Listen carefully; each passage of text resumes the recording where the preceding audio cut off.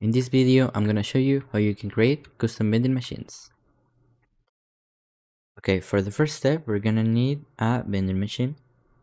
After that, we need to go to the static mesh component on the side, click on it, scroll down until you find element 1, and we're gonna double click on it. This window will pop up and we're gonna copy the parent material. And now we can close out of it.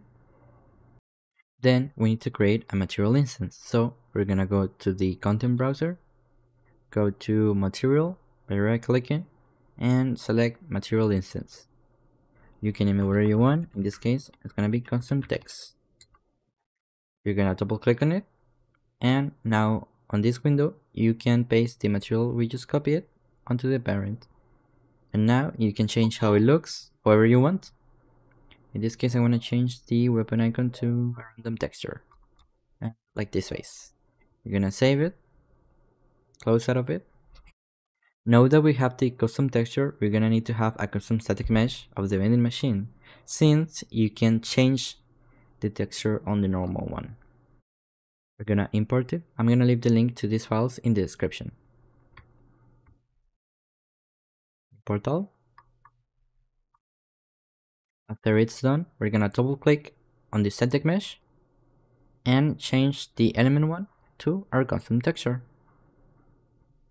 Now it's gonna look like this.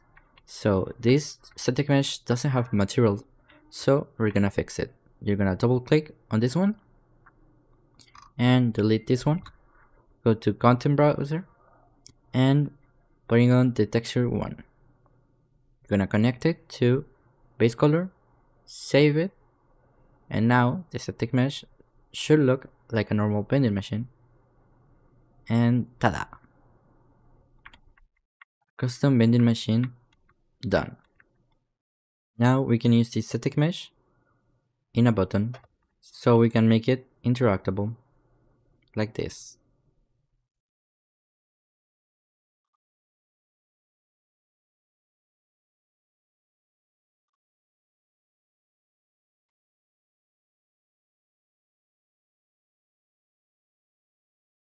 That's gonna be it.